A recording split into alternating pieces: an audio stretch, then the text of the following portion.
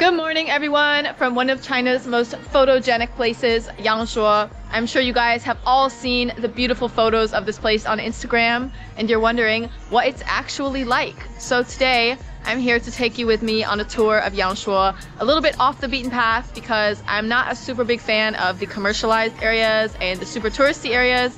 We're gonna be checking out some of the surrounding countryside and just seeing what is life like in Yangshuo how does this place compare to the photos we've all seen on Instagram? So hope you guys will be joining me. Let's check out Yangshuo. I've been to cities with mountain scenery before, but this is something else. The mountains are right in your face. There is no escape. Everywhere you look, there are mountains towering over you, woven in between the city buildings. Some are so close you can even touch them. Yangshuo is a very touristy place. It's one of China's most famous tourist towns, but there is normal local life interspersed among it. For every market street, theme park, and cute boutique hotel, there's a local farmer tending to their crops to a backdrop of karst mountains, or a guy leading his cows through the village streets, or a kid playing in an ancient alleyway, and I'm here for all of it, every single detail. One of Yangshuo's most iconic images is these guys, the cormorant fishermen. But where exactly do you find them? And does this ancient art still exist? Or is it just an aesthetic now? Wei and I encountered one of these fishermen as we passed by a famous photo spot, which is featured on the 20 RMB bill. He retired from sustenance fishing a few decades ago and is now getting that bread by taking photos here for 20 RMB apiece, or being hired by professional photographers for photo shoots out on the water. His name is Mr. Huang, and he told us that he started cormorant fishing at around the age of 10. It's a method of fishing where a string is put around the bird's neck, so when it dives into the water and catches fish, it can only swallow the small ones, while the fisherman keeps the big ones. 你是最后一代吗？相当于啊，最后一代，爷爷今年高寿？呃，九十三，九十三四，九十四，哇哦，九十四，老身体真好。我们的榜样啊！我大儿子归西，大儿子六十岁，他还有个孙子四十岁在桂林，他搞电脑。 Compared to his grandson's experience in a modern big city like Guilin, the life Mr. Huang led growing up might as well have been on a different planet. What Mr. Huang and others in his age group have experienced in their lives is like the kind of changes the US went through from 1700 to 2000. You can get an idea of it by traveling through the villages around Yangshuo. There's the old mud brick houses right next to the new concrete houses. The locals didn't bother to demolish their old family homes. It's really a reminder of how much living conditions have improved. Hello Hello， And it's not just here, in this famous tourist town that has undeniably been boosted by money from all over the country and the world. Dramatic comparisons like this can be found in villages all over China. 你你们以前捕鱼一天能赚多少钱啊？这大事， 那他卖这个三毛钱斤，三毛三毛二最贵，三毛钱一条鱼，一斤一天能能正常能抓多少斤的鱼？可以远，那天四五十斤呀，达到十个斤也可以。那是三块钱一天，哎是吗？哇，那你现在就好像赚赚的赚的挺好的呀，是不是？嗯，原原来张某喊喊我要去，骗你叫这个贵州小孩啊，唱山歌了。啊，你也唱的我们这个土蛋的和农村的山歌，这这样子唱，是是从来不到你归程啊，从冰冻的国下那赶不而明。我取名的穿着流山接儿江前，满街儿再来乐唱，是吧？棒棒的，棒棒的。这是以前你们你们捕鱼的时候唱的歌吗？啊，还还是是我。It's bittersweet that he is the last generation of cormorant fishermen.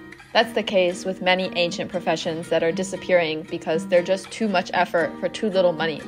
Even though the ancient art of cormorant fishing has more or less disappeared, the new age art of cormorant photography is very much healthy and alive.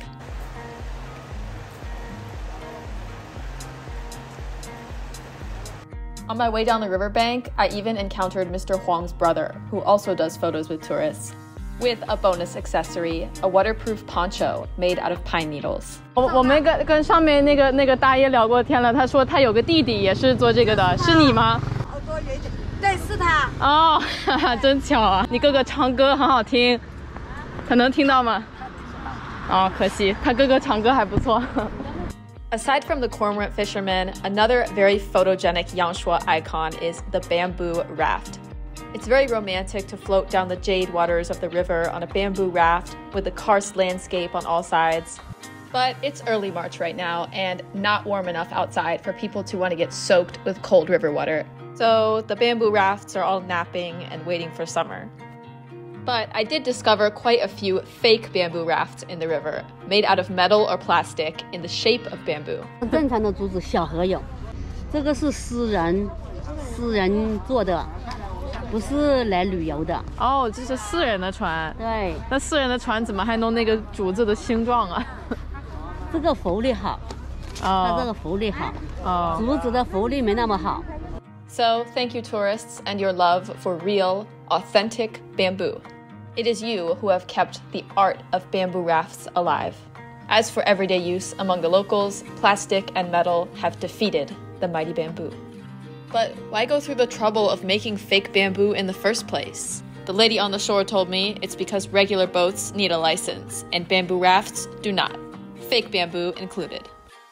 During my time in Yangshuo, I saw lots of locals prowling the river on their metal bamboo rafts. Although cormorant fishing is officially out, catching tiny shrimp with a tiny net is in.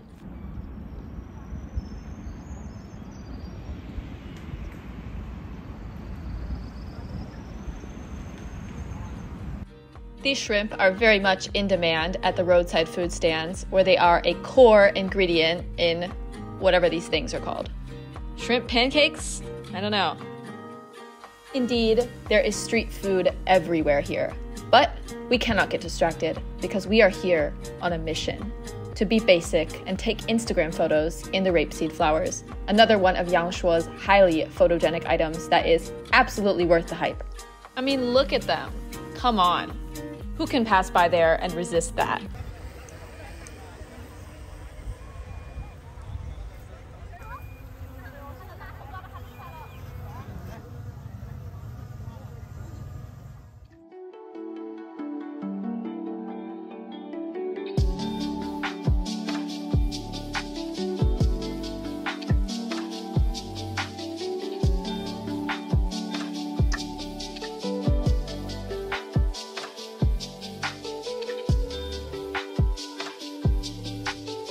I can see why this place became a renowned tourist destination because it's just so photogenic. You will not believe how long it took me to sort through all the insane amount of footage we captured for this video. And even in places where the mountains aren't directly visible, you're still constantly reminded of them with things like murals and billboards and these cool little rock and plant arrangements that look like karst mountains.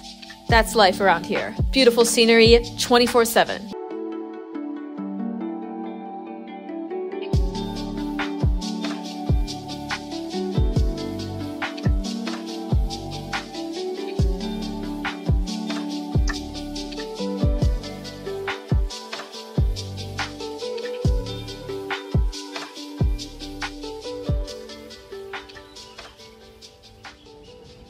So that's Yangshuo. The mountain scenery is out of this world. I see what all the fuss is about. It's the perfect serene escape from the rat race.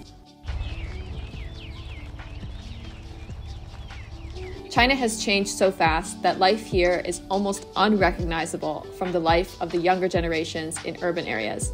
It's a completely different world. This is such a unique time to be traveling in China. The younger half of the country is the children of an industrial colossus, and the older half is the last generation of thousands of years of small farmer society. What a time to explore this country and hear its stories. If you go to Yangshuo, I highly recommend taking a day or two to explore the world beyond the famous Instagram shots and the tourist brochure items. Just get a bike or a scooter or even your own two feet and try to explore a little bit off the beaten path. Walk through some random alleys, chat with the locals, observe the subtle details of the landscape, dig deeper into the fascinating and beautiful place that is Yangshuo. You won't regret it.